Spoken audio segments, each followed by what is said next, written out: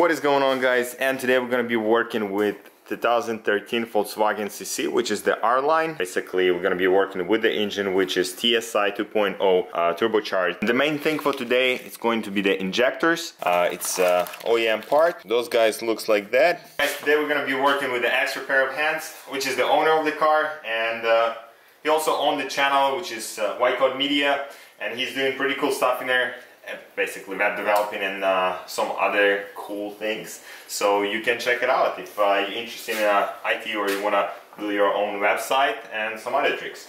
Anyway, I'll get the link in the description below. Uh, you can follow the link and uh, check it out what he's doing on his channel.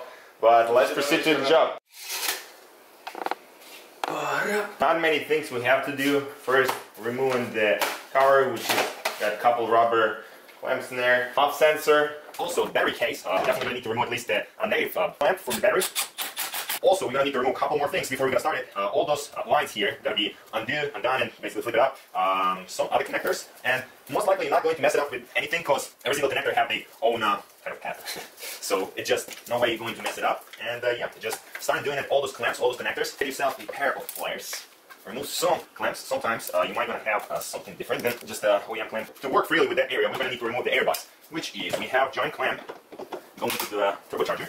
And just slide it back. And be careful because that thing is pretty tough. Connecting the line, unscrewing one screw from the uh, front or near the battery, which is the T40.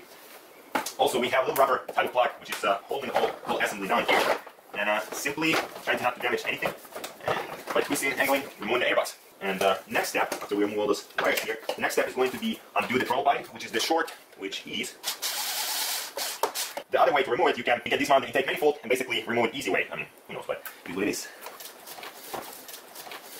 Uh, uh. So now simply uh, disconnecting the lines, screwing the little screw here, there, over here. Next one going to be disconnecting the line from the PCB or PCB. Yeah. Okay. So for those guys, you, you gotta squeeze it and then pull it out. Just wiggle it a little bit. It's gonna, I mean, it, since it's got a ring, it's got kind of pretty tough to remove it, but if you cannot do anything, use a screwdriver or something like that. The angle tool, just you can stick to the corner, twist it, or something like that. Remove all the lines. Basically, the toughest one was uh, that guy. So also there is a little screw like that, which is bolted uh, through the intake manifold and holding that line. Uh, it does have tiny uh, figment for the socket at the top, also 10 mil thread, which is the threaded knot in there, which is easy to remove. You got to remove both of those guys, as well as we have uh, that type of plastic bracket, which is hold all those three connectors in there. Uh, so what I did, I bolted first, uh, which is 2T30, holding it mounted to the intake manifold, and basically you slide out all those connectors and throw it away. Next step, going to be removing the solenoid. Okay, already been broken, so it is what it is. Okay, the last thing is going to be undoing those, I believe, it's, yeah, it's a uh, T30. Okay, and we also have a 10 mil which go through the perimeter, one, two, three, and four. As well as we're gonna have uh, that line here, which is the electric line, all the connectors to the throttle body and some other stuff going to be on the way. So the connector is going to be on the way to fit the, uh, you call it, the extensioner. So you have to unscrew that little plate here at the near the throttle body, then one at the left side of the intake manifold, and then fish that wire down all the way through. And uh, now you have opening for the unscrewing the 10 mil uh, nut. Basically, we have uh, five bolts at the top and uh, four nut at the bottom. We gotta undo them. Next one is going to be the 15 mil or 16 mil, I can't remember, uh, the same line. So, but before we undo all those bolts here, we're gonna need to undo that line here, which is connected to the pump itself. I think it's 16 mil or something like that. So you gotta undo this side all the way. And the next one is going to be the 15 mil or 16 16 mil, I cannot remember, uh, the same line. So this is it, and basically you can reach it uh, through the opening at the bottom, which is right here, and uh, it's easy to work with that area, so don't worry about that. So all the way down there, there is like aluminum bracket, which is mounted to the throttle body, and it goes all the way down and do it. I believe it's T45, something like or T50, but you definitely have to fish it with your fingers, undo that bolt, and then you're gonna be able to actually pull out the intake manifold. Anyway, let's undo all those bolts, undo that gas line, and then bolt the bottom, and we're gonna go through the procedure. Also, we're gonna have a couple connectors and a couple things to disconnect after we're gonna remove all this stuff. We're gonna lift the uh, intake manifold and gonna disconnect a couple wires.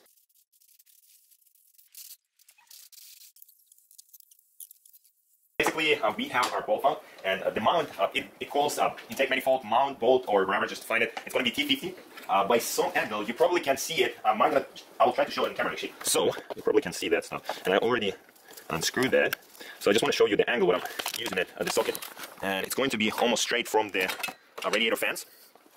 It's got a little angle in there basically something like that. It's kind of uh, pretty hard to fish it. You definitely have to check from different perspectives. And so if you're going to be looking from the front of the car, you're going to check uh, the place between the throttle body and the bracket, which is a whole bunch of housings, like uh, oil lines, something like that. You're going to move that wire with a bunch of connectors to the side. I'm going to be looking straight here. I'm going to put some light in there. You're going to find that bolt in there. This is that Bester, and it's an M-type, but T50 going to fit just fine. As far as you can see, we can easily move the intake manifold. And before that, we still have to do one job, which is the gas line. Okay, the last step is uh, dismounting the gas line, which is we going to release the pressure. I'm going to put the microfiber towel at the bottom in there. There is a lot of gas to not like expose all this stuff. And basically, just crank it a little bit, undo it, the regular threads in there. Uh, apparently there is no pressure already.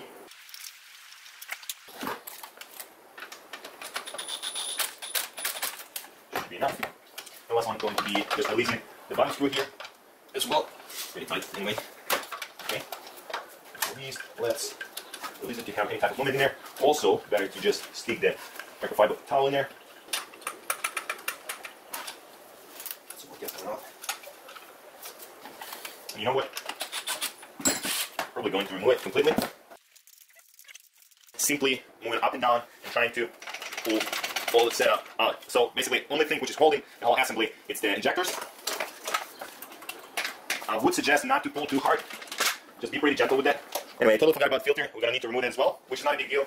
I don't have the proper wrench for it, so we're gonna be pretty gentle because we're gonna be installing that puppy back.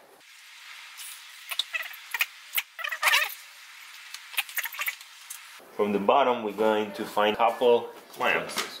Oh. I understand English. I understand. You understand, shit, bro? uh, and they hold in the wire packs, and you have to undo them before you're going to pull everything out. Also, we have a connector here, which is uh, maybe undone from the top. Okay, one connector is minus.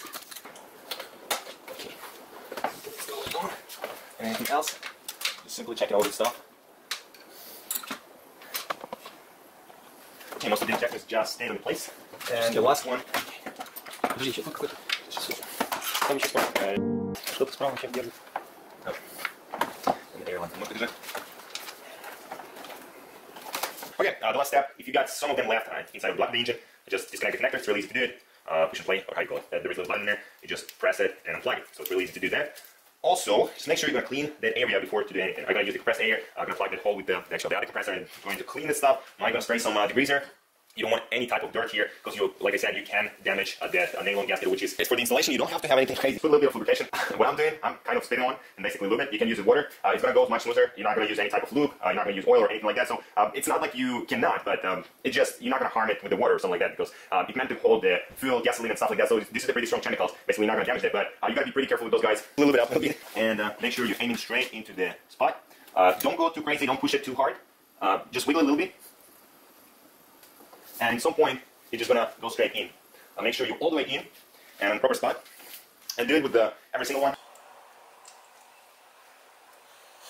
Also, I'm not going to be removing the bracket or so. Uh, as we did remove everything, we're going to install it back same way. In some uh, moments, I'm going to be uh, putting, for right now, we're simply going to connect the rail, uh, the injector rail, first, second, third, fourth. Um, in some cases, some people just putting the silica in there. I'm not suggesting to do that. That's totally like normal, so don't do that. But otherwise, uh, just make sure you got connect everything. You're not going to jam any type of, type of wires. Also, I blow everything with the compressed air, so there's not supposed to be a lot of dust or any kind of like residue above the level of the oil, the valves, and stuff like that. So just from my perspective, I'm kind of safe in that way. Anyway, guys, uh, after we connect the injectors, remove the caps, do a little bit of lubrication, make sure uh, those like metal uh, things are sitting just in correct, uh, I mean, in proper way. Otherwise, we're going to be screwed. The next step going to be placing uh, the wiring, the harness in the proper way, proper position. We got that out of the way. This one we're going to fish it through the intake manifold. It's going to go up, uh, which comes from the sensor as well. That uh, that connector is going to go to the sensor, the pressure sensor. I'm going to put a little bit of lubrication to the O-rings. I just want it to be everything as smooth as possible. So first, what I'm doing is placing the bracket on the proper spot. Then the second thing going to be, let's keep this wire through right now. Be like that. I'm going to clamp it somewhere. Then the second wire, I'm going to go straight to our sensor, which is, I'm kind of worried about it, but it just clips, so, I mean, apparently should, everything should be just fine. Then, let's see what we got down there. Then something else. Our line, and our bracket. So, let's try to stick the bracket. Then, going to be something like that. Okay. The next step going to be find the proper spot for those two bolts are sticking out from the lug of the engine. Then the rail. Rail is not pain in the ass, so you have to check everything from underneath, from under, and we'll see in a second what we got there. Anyway, let's get some more light.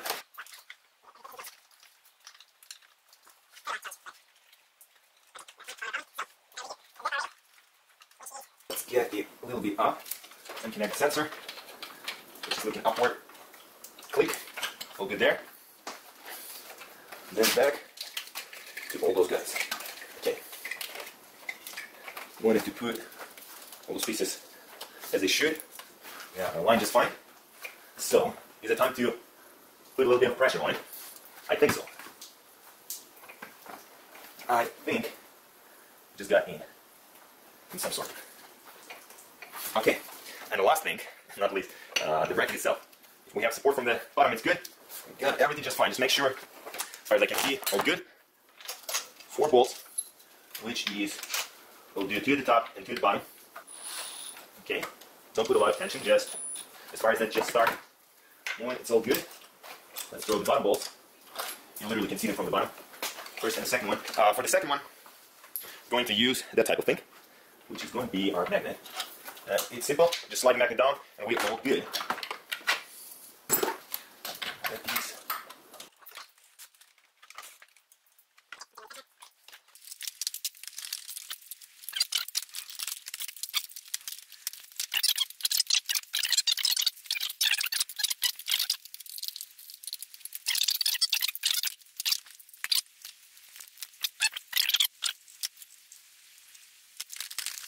Okay, moment of truth. Uh, we actually did assemble everything and everything seems to be fine. I don't know. I mean, we're going to start the car. The first start is going to be rough. You might gonna experience the check engine light.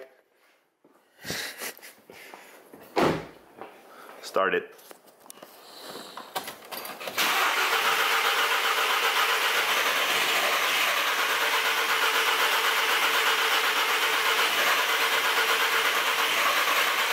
Uh, can you press the button?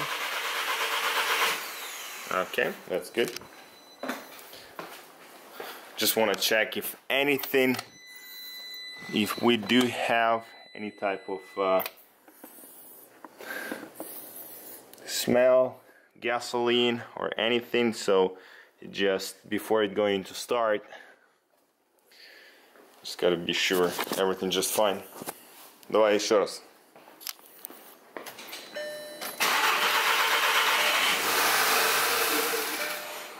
That's good.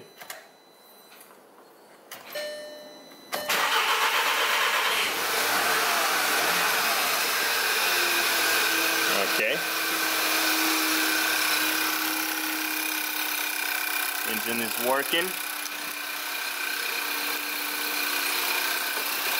Up to me it's pretty straight. My biggest concern is the pressure line that everything just went fine. Uh, I would say it's pretty steady engine work, so there is no like missing cylinders or anything. And we're gonna take it for a test drive and we'll see what is going on.